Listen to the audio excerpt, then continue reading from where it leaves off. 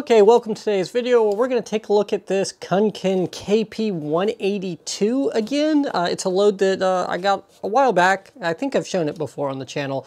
But today we're going to try to add the communication to it that the 184 has. Because this is the 182. It doesn't have COM, but uh, I have a sneaking suspicion we can add it to it because when you go through the menu settings, the COM port options are there. So uh, yeah, we're going to open this thing up and see if we can add a COM port to it it. Okay, well, first thing we have to do is open it, and uh, luckily there's just screws around this metal case here, and then it comes right off. Uh, no, uh, no tabs or anything we gotta pop off.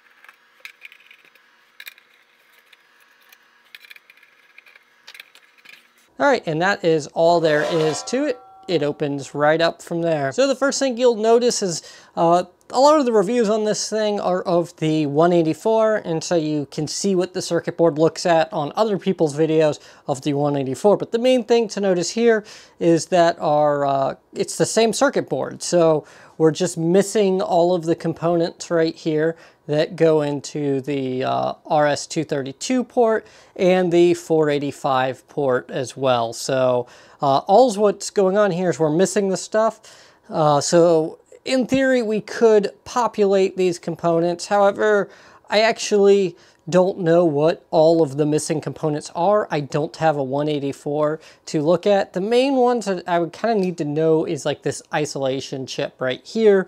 You know, what, what is this isolation chip?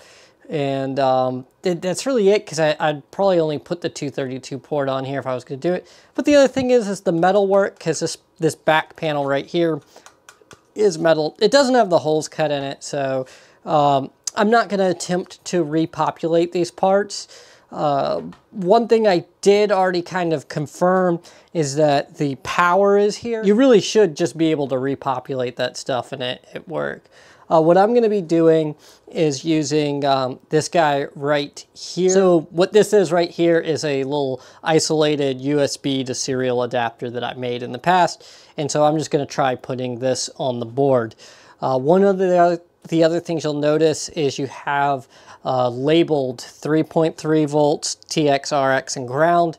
I, I, I know these go to a different serial port, so I don't think that we can do it. But uh, yeah, this isolation chip right here is going to be where the data comes across and comes up over to this uh, RS-232. Uh, I, I think they used a UT3232 for the serial chip here. One other thing to note here is that they did draw the symbol here that this is isolated, and if we check the power to the power for the microcontroller, we'll see that it is in fact isolated.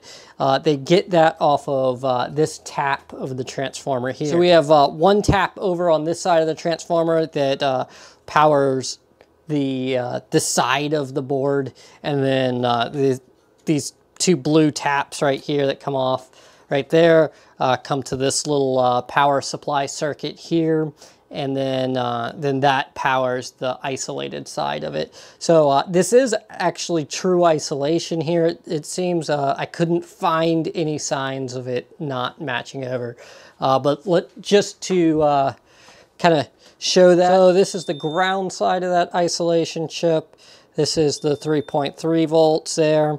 So uh, ground and the power of the other side of the isolation, uh, no continuity between them. Okay, so the uh, main processor here is a STM32. Uh, it is the um, F103 uh, series. Uh, and so this one's a pretty common microcontroller. I've used it in some of my projects here on the channel before in the past, like that uh, gauge pod that I made a really long time ago. So I'm actually pretty familiar with this chip. And uh, PA 9 and 10 are um, right, right around here. They're like pin 30 and 31, if I'm not mistaken, uh, of the microcontroller. Uh, and those are uh, UART 1. Uh, and we can trace them over here. So we have continuity there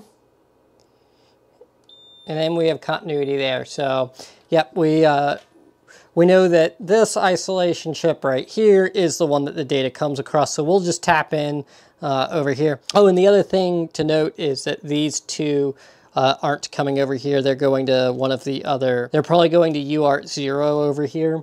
Um, so yeah, the, this one is a different uh, UART port.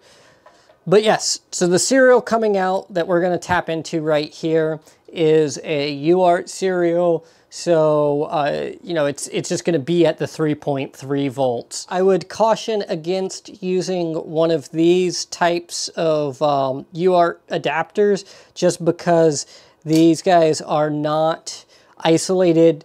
You're going to want to protect your computer, especially with, um, you know, a unit under test on here that could, you know, catastrophically fail uh, you really don't want to take your computer out with this. So, okay, well, let's uh, go ahead and just start hooking up to it and uh, see if we can get any data or communication out of this.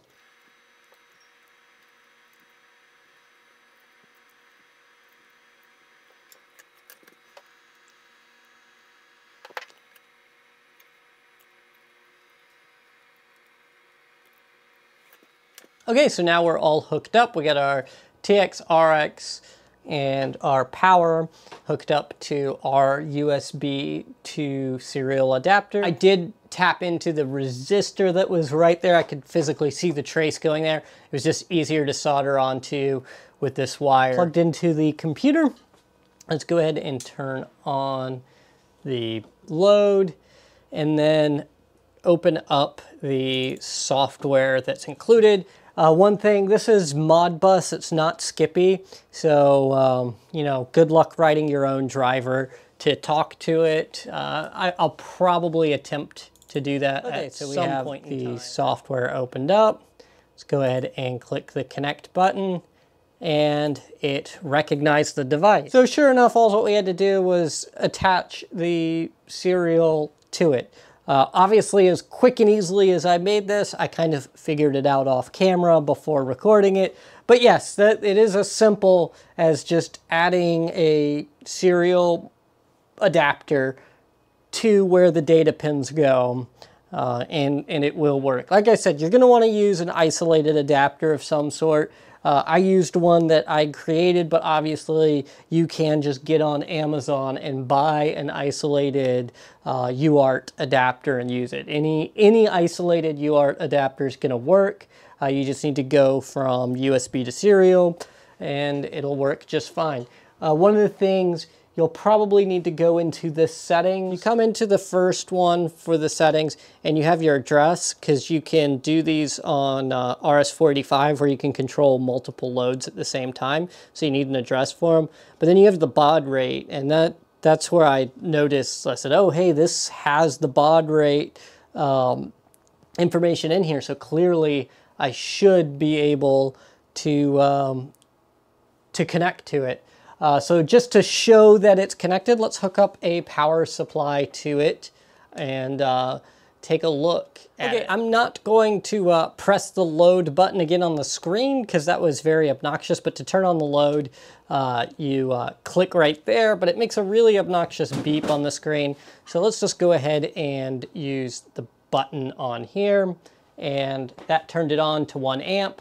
Uh, and then you can change your load setting to, let's just put it at 0.75. There we go. So you're able to control the load with the software. And like I said, this is their software that they package. So yeah, this is like a, a Modbus protocol that it uses.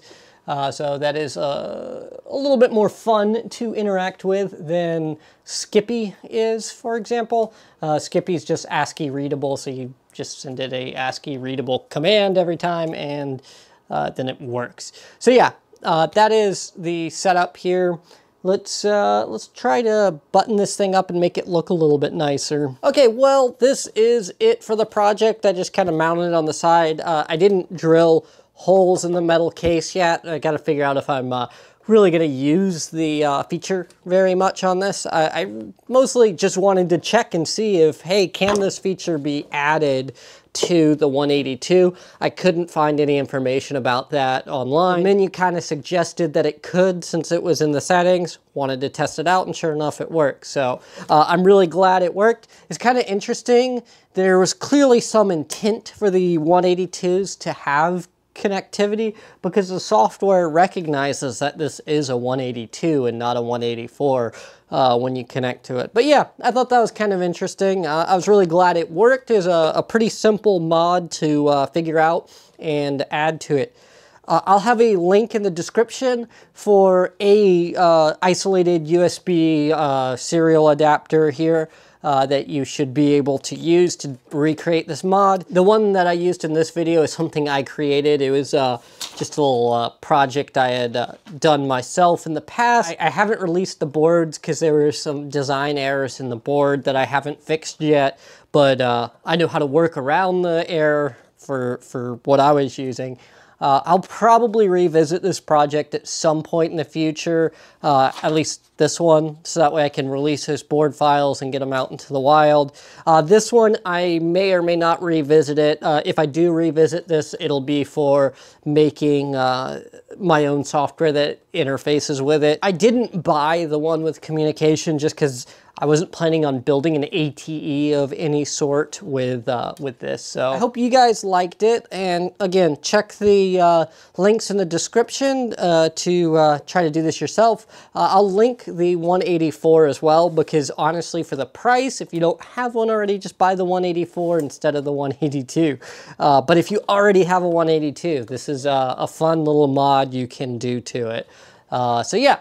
Uh, I hope you guys like this, and I will see you in the next one.